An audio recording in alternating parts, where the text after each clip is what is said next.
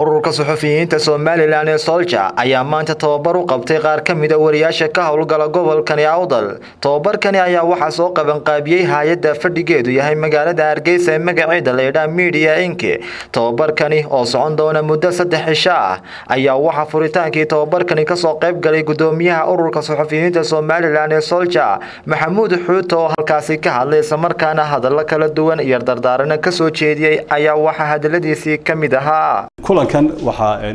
sooljo ka taageeray hay'adda midia inka la yidhaahdo oo ah hay'ad hargeysa degan tababaradana ka fulisa dhammaan suxufiyiinta afka soomaaliga ku hadasha runtii oo gobollada ay degan yihiin oo dhan iskaga yimaadaan. Runtii wuxuu tababarkani ku saabsan yahay sidii saxafiyiinta kor loogu qaadi lahaa aqoontooda waana backage isku dhamaystiran oo muddada saddexda cisho haddii la yidhaahdo wax kasta oo koobsanaya baahiyaha saxaafadda runtii. Inta laga gaadho runtii loogu talagalay in lagu kafaalo qaado haddii la yidhaahdo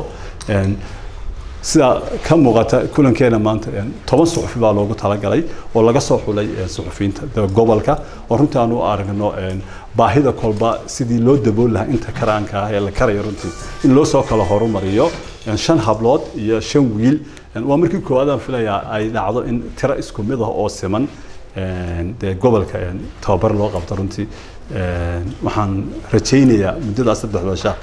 runtii inaad ka faa'iidaysan doontaan wax badanna runtii tababarkan uu idin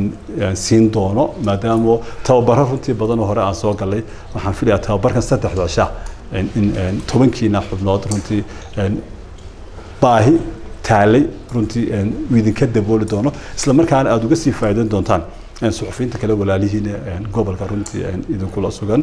Waxaan qabnaa in aqoonta suxufiyiinta kor loo qaada ay danta qaranku ku jirto. Haddii suxufiga aqoontiisa kor loo qaado wuxuu waddo u noqonaya runtii in dhidibada u taago oo uu horumarka dalka runtii inta karaankiisa uu ku kordhin karayo. Haddii laakiin saxafiyiin aan aqoon lahayn ama tababaro fiican aan helin runtii waxay noqonaysaa mid dalka iyo ummadda runtii ka go-an waxaan qabnaa suxufiyiintu waxay u adeegaan dee dadweynaha maadaama bulshada matashaa runtii in duruufaha iyo xaaladaha kala duwan ee dee ka taagan gobolka iyo guud ahaanba dee dalka runtii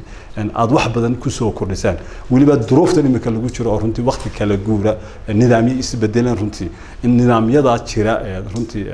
la kobciyo isla markaana challenge-ka ka hor yimid ama dhibaatooyinka runtii ka dhalan kara isbedeladaas runtii